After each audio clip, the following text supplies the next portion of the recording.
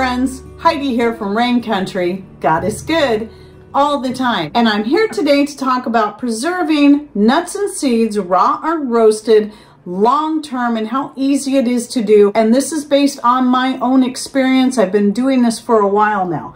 So I have a whole bunch. I try to bring out a jar of each kind that I have put up and I'm not sure if I forgot something, but I'll go over it real quick. Right here I have hazelnuts, hemp seed, almonds sliced, pecans, walnuts, pistachios, Brazil nuts, whole almonds, cashews, sunflower seeds, and peanuts. Some of these are at least three years old now, and I've had some nuts and seeds that are much older than that, such as the hemp seed. I didn't put a year on here, so I can't be certain, but I know it's much older than that. I would say a minimum of five years old here.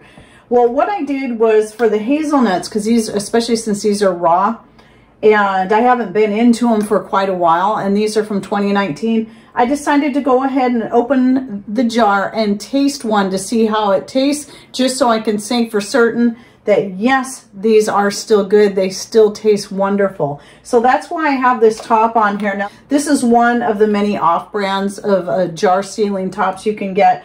Food Saver was the one to first come out with them. The nice thing about them is they have a little handle but there's also an off-brand that you can get now that also has a handle. It does make it much easier for coming off there. So I'm going to demonstrate at least a couple different methods that you can vacuum seal because vacuum sealing your nuts and seeds is one of the best ways that you can keep them from going rancid and then also keep them in keeping them in the coolest area of your home that you have. But even if your home gets pretty warm and you don't have a really cool area, I still think by vacuum sealing, you're going to stave off the possibility of them going rancid. So one of the methods you can use for vacuum sealing, and this is the cheapest way to go, and I'll link to a few different sets down below, is if you can get the full set that has the little manual vacuum pump like this, because usually right around $20 or less, especially if you can get a coupon, you can get the both sizes of vacuum sealing tops, plus the vacuum pump and a few other little things to go with it. And when I do this, so it comes with a hose, I found the hose to not work very well. So because this has silicone here, you can just simply set it and hold it firmly in place. You don't have to press down hard. In fact, you don't want to press down real hard or you can prevent it from sealing. But just by placing it firmly over the hole and pumping by pulling upwards, kind of like a bicycle pump, except for you're pulling the air out instead of pushing the air in. And you just keep pulling on that till you just can't do it anymore. And then remove your top. And for some reason, my little liner keeps coming out, no big deal. And then I always test by holding it up by the lid to make sure that I got a good seal. Then when it comes to vacuum sealed goods, I always put the band on firmly, but not super tight, just to hold everything in place. I recommend doing that. It's not absolutely required, but I think it's the best idea because jars can come unsealed in storage like my Brazil nut jar right here did. It came unsealed and I did vacuum seal it again and it came unsealed again. So I may just need to put a different lid on there, but still these were good. So that way that will at least help keep air from getting in there. But also if you go to grab the jar and you don't realize it's unsealed and you don't have the band holding the lid in place, you could have contents going everywhere. So then the next thing is I need to get some more chia seeds. So I did an order from Azure Standard, which I love. I love Azure Standard. I do have a referral link down below. If you go through that link, I don't, you, you won't save any money, I don't think, but it does help us because if you place an order of at least $100 through any of our referral links at Azure Standard, it gives us a $25 credit, which really helps us because we have to, we don't have a drop point. So we get the stuff delivered here. So we have to pay shipping, which can be pretty expensive when you've got heavy items. So anyway, and so that really helps cover the cost of our shipping. So anyway, I did get some chia seed and I'm going to be vacuum sealing those up into some jars today. And I'm just going to demonstrate in one jar. So I got my stainless steel funnel in place and I'm just going to pour it in there. And when you're vacuum sealing, it's kind of like canning. You don't want to fill it clear up to the very top or it actually can impede the process and keep the jar from sealing well. but you can shake your ingredients down to get the, all that extra airspace out, which I do recommend anyway because the less airspace you have in there in the first place, the better your stuff's going to keep. And now, whoop, let me put this back in place. And now I can pour a little bit more in there. Okay, that should be good. And if it looks too full, well, just shake it down some more. And there we go. That looks perfect. So you can see how I have that filled up to. And this time I'm going to use the Food Saver top. Where's my lid? Gotta get the lid in place. This is not a powder, so I don't have to put any kind of cloth or cupcake liner or anything like that over the top. It'll be just fine. And then, even though this little pump is great, I still like the brake bleeder pump better. That's just my preference. I find I can actually get a better suction on it with this. And so I just put the tip in like this. There's different types of tips you can use. I've just always done it this way, holding firmly in place. There's other things you can do to adapt it, to make it sit in there so you don't have to hold. And if you want more information on that, I'll link to a video I did uh, last year where I talk about tips on using the brake bleeder pump. I rest it against the counter so I'm not pumping like this, but I'm pressing downward with the heel of my palm. And then just pump until well, pretty much until the needle stops moving. That's the best place to go by because especially if your brake bleeder pump is like mine and the needle is off, it's not quite calibrated right. Giving you a number might not work, but I like to go until, well, until it stops moving for the most part. This is going way up there. Usually, if it starts out at zero going up to where it says 400 or 15, that's usually going to be sufficient. But anyway, and no, I don't believe you can over pump these jars. Now see, look at there. It's sealed, so now I can put my band on and then I'll put what it is, which I can clearly see is chia seed, but just in case it kind of does look like black pepper, I will make sure I put chia seed and the date that I sealed this up.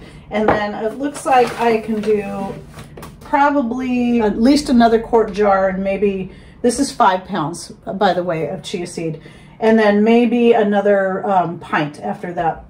And then here I have some organic sunflower seeds. Now the sunflower seeds, I did a video uh, storing the sunflower seeds. Now these are roasted and salted and organic and they were so hard to find. Well, these have almost doubled in price since I bought these and I wanted to get more put up.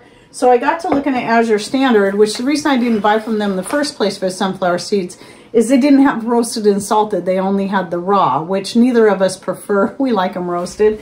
But I thought, well, why not just, since this is a much, much, much better price, why not just go ahead and roast and salt them ourselves? So I plan on doing that for the first time. It sounds pretty simple. I think it's like 350 degrees for like 10 or 15 minutes, spread out on a cookie sheet, and then you just kind of stir them once in there. So it should be pretty simple, but I'll be doing a video on that. So those who want to learn how at least I did it, and uh, I'll give you my, and give you my reviews on how that turned out. See if that's something I want to continue. That's why I started with only a five pound bag.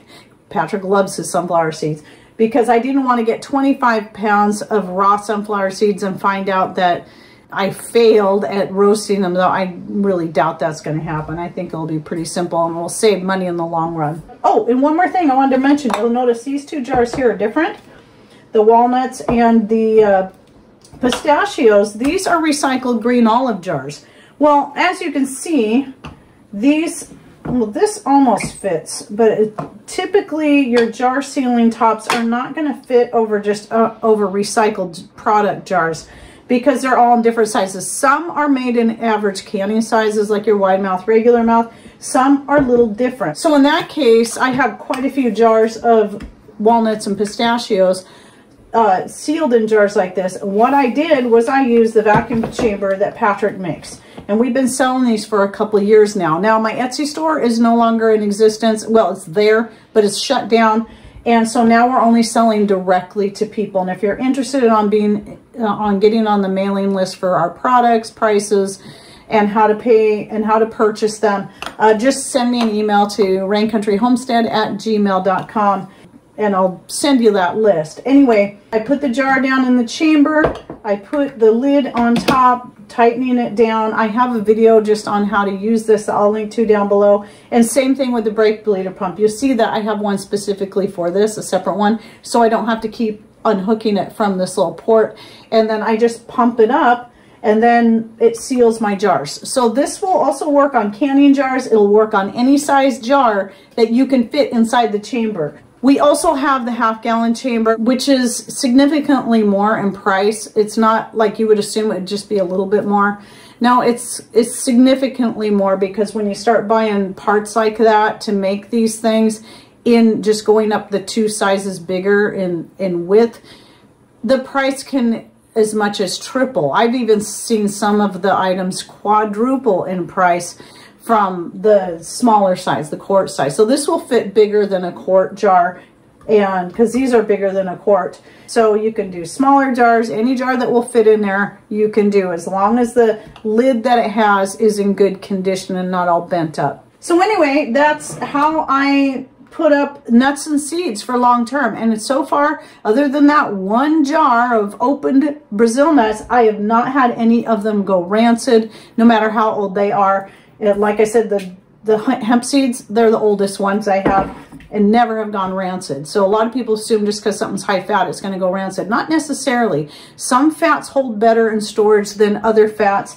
and how you store them really matters. You can go to, like I did, a couple of different university uh, food preservation extension sites and they'll tell you the same thing that vacuum sealing high fat foods will actually prevent them from going rancid.